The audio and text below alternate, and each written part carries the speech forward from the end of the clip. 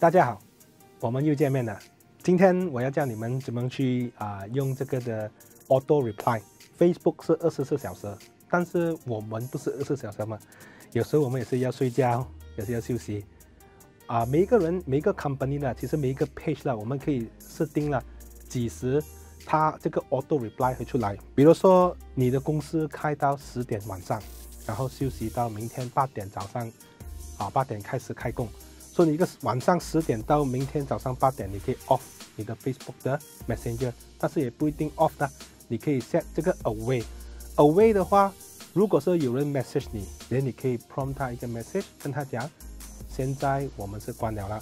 你可以，如果是你有很很 urgent 的东西啦，你可以 WhatsApp 给我，你可以放你的 WhatsApp 的电话号码在里面，哦，或者是你可以啊、有什么东西你可以 leave 一个 message 在你的 Messenger。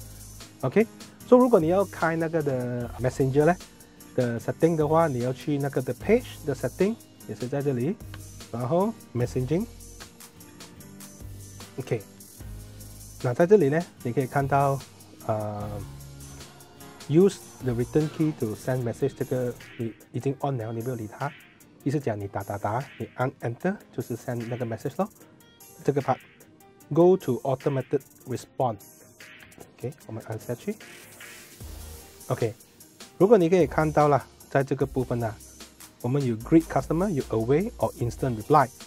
away 就是刚才我讲了，如果是你不在，或者你的公司今天晚上已经关店了，说这个是可以放 away message。instant reply 就是讲是不理你几时，有人 send message 来，你一定会 reply 这个 message 给他，因为你怕你可能会忘记。所以最好呢，就现在我们要开这个 away message 啊。所以 away message 你看现在是 off，因为什么是 off？因为那个时间的关系，所以我们要改那个的啊、时间，几时开几时关，在这里有个 edit button，你按一下。OK，在这里呢，啊、时间 timing 你可以看到了，time zone 我们要 make sure 是我们 KL 是啊、GMT 加八。如果你是有些人呢，他没有改那个的时间呢、可能是你会看到减去哦 Los Angeles time，所以我们不要，我们要 follow 我们的 KL 的时间。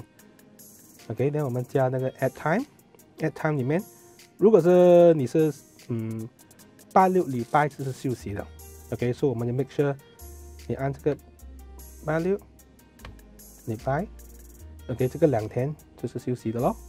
So 你休息的时候，automatic 那个的 away message 它 activate。如果是人家要 message 你的话，它 automatic 会 send 一个 reply message。首先，但是星期一到星期五啦，我们做工的时间是九点到六点，so 六点以上到明天早上九点是我们是休息的，也是要 activate 那个 away message。我们怎么做？so 你看呢，我们要加 At time，at 一个一，全部东西，但是？我们要放的时间是休息的时间啊，so from OK 六点开始。到这里是到九点，OK，你看到吗？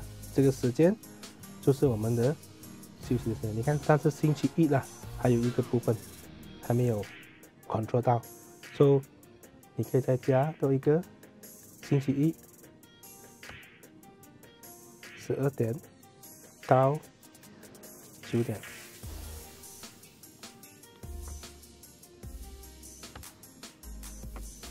OK，所以这个是你的做工的时间了。在做工的时间，这个 away message 它不会 activate，你要自己 reply 它。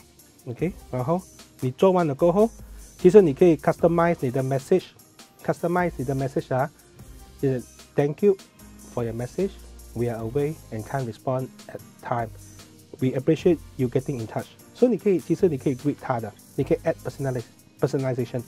比如说你这样 Hi，add 他的名字 first name，OK，、then 你可以加，嗯、if you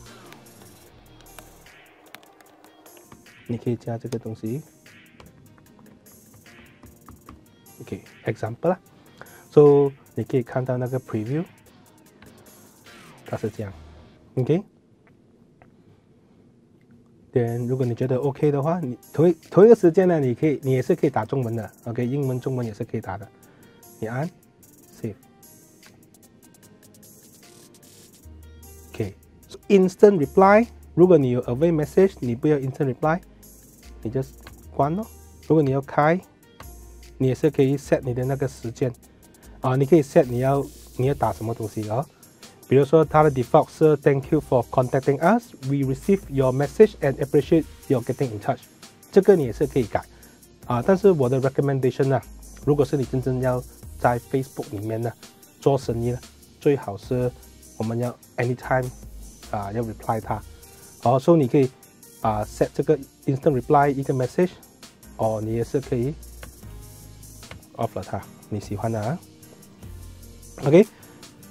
这个是其他的 messaging 的，你也是可以用。比如说 frequently asked question，你也是可以 suggest 他有什么 question。比如说你可以 on，那你可以呃改那个的问题在这里。OK，比如说他们会问什么东西？哦，比如说这个 How much do your product or your service cost？哦，Can you tell me more about your business？啊，这个这个 question 你可以改的这个 question。OK。Page recommendation 这个部分呢，Page recommend 如果是呃有人 recommend 你的你的产品或服务，你也是可以 send 一个 message 给他，跟他讲 Thank you，这个是 automatic 的，OK。如果他讲你好，你可以 send 一个 message 给他；如果他讲你不好，not recommend，你也是可以 automatic send 一个 message 给他。同一个时间，其实我可以 recommend 你，比如说，嗯，对不起哦，啊啊，服务你不是很好。我们可以给你一个的啊 voucher，one time use voucher，可以 for the next visit 啦，我可以扣你 ten percent twenty percent，这个是我的 recommendation 啦，然后你你你自己喜欢哦这个东西。